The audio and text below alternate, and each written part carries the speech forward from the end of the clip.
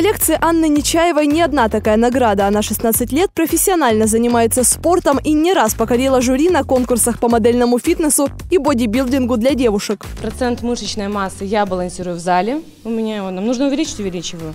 Процент жировой массы я балансирую 24 часа в сутки, я его держу, это питание. У меня не параметры, у меня отражение в зеркале. Мне может или нравится, или не нравится. Чтобы отражение в зеркале радовало, на жертвы приходится идти не только спортсменкам.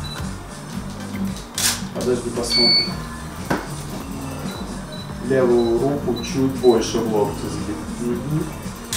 Уверенный взгляд, плавные движения и десятки разных позиций за считанные минуты. Анастасия Косенко – фотомодель. За параметрами фигуры следит вплоть до сантиметра. У меня соответствует стандартам 90-60 и дозволительно 92. Я хожу три раза в неделю в зал, занимаюсь с тренером, очень стараюсь поддерживать фигуру, так как это моя работа, и в основном, наверное, это из-за этого.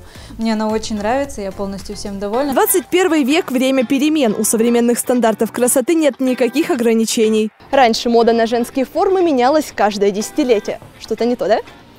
Так-то лучше. 30-е и 50-е – золотой век Голливуда. Тогда с ума свела не только мужчин, но и женщин. Красавица с пышными формами Мерлин Монро. 60-е. Тогда в моде были худощавые девушки, и символом эпохи стала актриса Твиги. Болезненная худоба вышла из моды, ей на смену пришли загорелые и подтянутые тела. А спустя еще 10 лет эталоном стала Ким Кардашьян. Крупные формы, тонкая талия, тогда же вырос спрос и на пластические операции.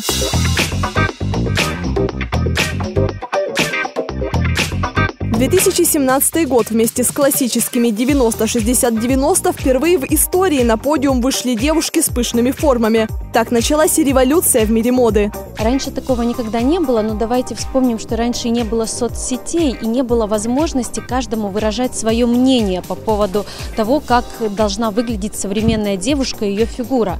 А так как все-таки все мы разные, и мы считаем, что э, мы имеем право, несмотря на то, какая у нас фигура, тоже быть красивыми и счастливыми. Чувствовать себя не только привлекательной, но и любимой, тем более, что у мужчин, как правило, свои идеалы.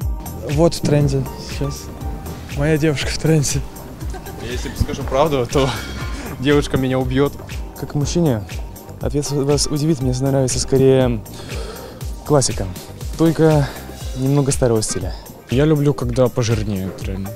Не, честно, нравятся пушки. А вам? Да, как это, нормально.